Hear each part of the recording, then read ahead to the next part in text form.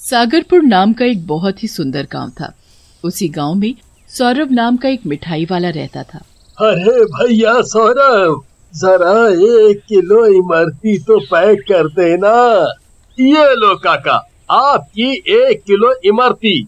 सौरभ की दुकान के सामने ही तोता राम की भी मिठाई की दुकान होती है। सभी लोग सौरभ की मिठाई की तारीफ़ कर रहे होते हैं जिसे सुनकर तोता राम को बहुत गुस्सा आता है। ना जाने क्या हो गया है इन गाँव के लोगों को। जब देखो बस सौरभ की मिठाई की ही तारीफ़ करते रहते हैं और एक मेरी दुकान पर देखो। एक मक्खी तक नहीं भटक रही है। मन तो करता है कि उसकी मिठाई में जहर मिला दू जहर। तभी तोता राम की दुकान पर उसका दोस्त महेश आता है और तोता राम से बोलता है अरे तोताराम या अकेले अकेले क्या बड़बड़े रहे हो? कुछ नहीं भैया मैं तो बस अपनी किस्मत को कोस रहा था। देखो ना महेश भाई मैंने इतनी बड़ी शानदार दुकान खोली है पर सुबह से बस दो चार ही ग्राहक दुकान पर आए हैं। हम्म, फिर शाम को तोता राम अपनी दुकान बंद करके घर जाता है और घर जाकर फिर से बड़बड़ाने लगता है। ना जाने क्या मिलाता है अपनी मिठाई में जो कि सभी उसकी मिठाई की तारीफ़ करने से नहीं थकते। हम्म, मेरा तो मन करता है कि अभी जाकर उसकी दुकान में आग लगा दूँ। अजी क्या हो गया? क्यों इतने तमतमाए हुए हो? और किसकी दुकान में आग लगाने जा रहे हो? अरे भाग्यवान एक ही तो है जिसने मेरा सारा धंधा चौपट कर रखा है। बस उसी की दुकान में आग लगाने की सोच रहा हूँ। अरे मेरा तो मन करता है कि सौरभ की सारी मिठाइयों में जहर मिला दूँ जहर। अजी तो देर किस बात की? ये लो शीशी। अरे भाग्यवान ये जहर की शीशी कहाँ से ले आई? अरे पगली मुझे जेल भिजवाना है क्या? अजी आप भी ना। अरे ये कोई जहर नहीं है। इस शीशी में वो पानी है जो सौरभ की मिठाई को बेस्वाद और बासी बना देगी। बस आपको ये पानी उसकी मिठाइयों पर छिड़कना है और फिर देखना इसका कमाल। अरे मेरी चमेली क्या दिमाग पाया है तुमने? पर मैं ये करूँगा कैसे? हैं? अब सब मैं ही बता दूँगी तो तुम क्या करोगे? ये लो शीशी और खुद सोचो कि कैसे और क्या करना है। मैं तो चली खाना बनाने। फिर अगले दिन तोताराम और सौरभ अपनी अपनी दुकान खोलते हैं। तोताराम मौका देखकर सौरभ की दुकान पर जाता है और सौरभ से बोलता है अरे सौरभ भाई एक बात तो है कि तुम्हारी मिठाई बहुत ही स्वादिष्ट है। तभी तो हमारे ही गाँव वाले नहीं आस पड़ोस के गाँव वाले भी तुम्हारी बनी मिठाई खाना पसंद करते हैं। तोताराम जी ये सब तो ऊपर वाले की मेहर है। अरे भाई ये दुकान के अंदर से आवाज़ कैसी? आवाज़? पर मुझे तो कोई आवाज़ नहीं आई। अरे भाई सौरभ एक बार अंदर जाकर तो देखो। क्या पता कोई चूहा दुकान में घुस आया हो हम्म? सौरभ दुकान में जाकर देखता है पर उसे कोई आवाज़ नहीं आती। जैसे ही सौरभ दुकान से बाहर निकलता है वो तोताराम को उसकी मिठाई पर शीशी से पानी डालते हुए पकड़ लेता है और तोताराम से बोलता है अब समझ आया। कि तोता राम आज इतनी अच्छी अच्छी बातें कैसे कर रहा है? जरा बताओगे कि चुपके चुपके क्या डाला जा रहा था मेरी मिठाई पर?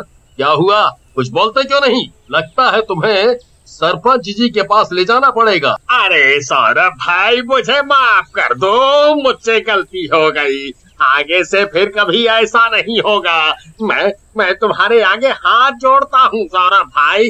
मुझे माफ़ दो मुझे माफ़ कर दो। ठीक है इस बार छोड़ता हूँ मगर फिर कभी ऐसा किया तो सीधे जेल भेज दूँगा।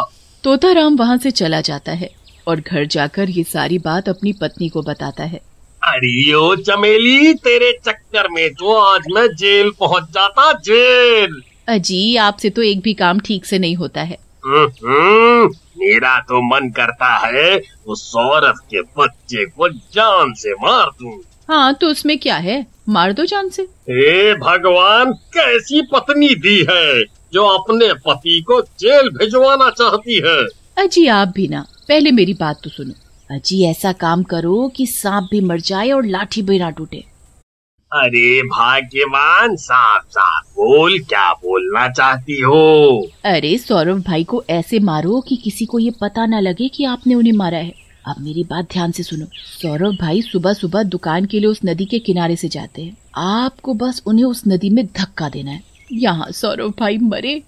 वहाँ आपकी दुकान पर मिठाई लेने वालों की भीड़ लगना शुरू। उसी दिन सौरभ अपनी पत्नी मीना को तोताराम की उस हरकत के बारे में बताता है। अजी, उस कमबखत तोताराम से जरा होशियार रहना।